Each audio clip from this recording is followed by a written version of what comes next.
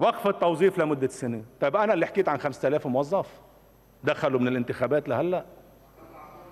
أنا معلوماتي أكثر بدي التزم بالذي قالته الحك... بعض وزراء الحكومة. طيب كيف توظفوا هول 5000 و570 ناجحين مجلس الخدمة المدنية تحت عنوان توازن بالبلد بنوقفهم. كثيرة هي مداخلات النواب عن التوظيف العشوائي خلال جلسات إعطاء الثقة للحكومة. هذه الطبقة السياسية التي أدخلت إلى الإدارات أكثر من 5500 موظف.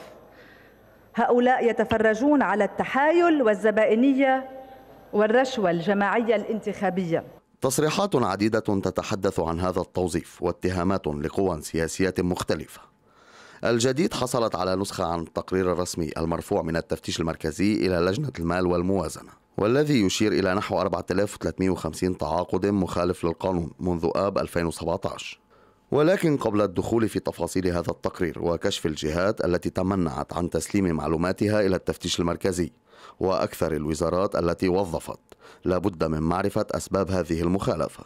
مطلب آخر من الحكومة أن تقدم لهذا المجلس تقريرا مفصلا عن توظيف. فقد نصت المادة الواحدة والعشرون من قانون سلسلة الرتب والرواتب رقم 46 الصادر في آب 2017 على منع جميع حالات التوظيف والتعاقد بما فيها القطاع التعليمي والعسكري بمختلف مستوياته واختصاصاته إلا بقرار من مجلس الوزراء وهو ما لم يحدث.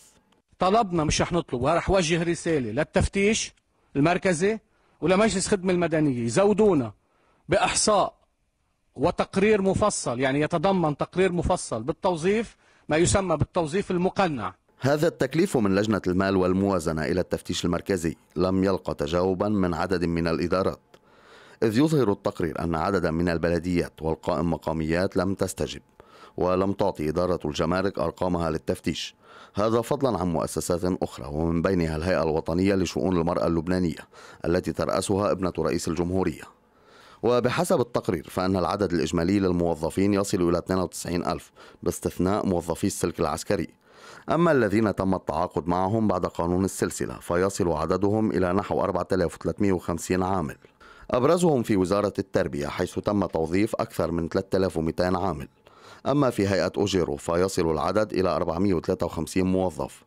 كذلك في المستشفيات هناك أكثر من 200 ووزارة الخارجية 75 موظف. والباقون موزعون على وزارات وإدارات عدة.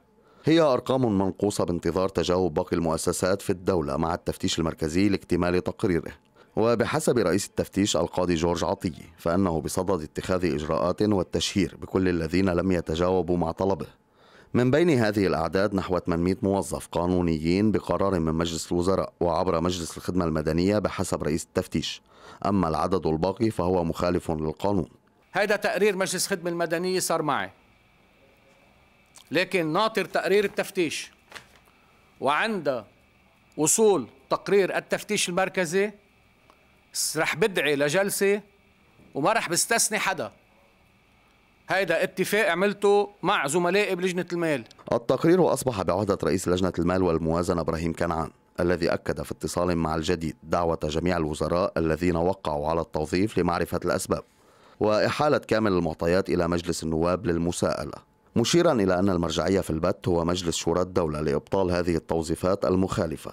وإلى حين المحاسبة يبقى الموظفون الجدد في مهامهم بتواقيع من وزراء لم يؤتمنوا على تطبيق القانون. هادي الأمين قناة الجديد.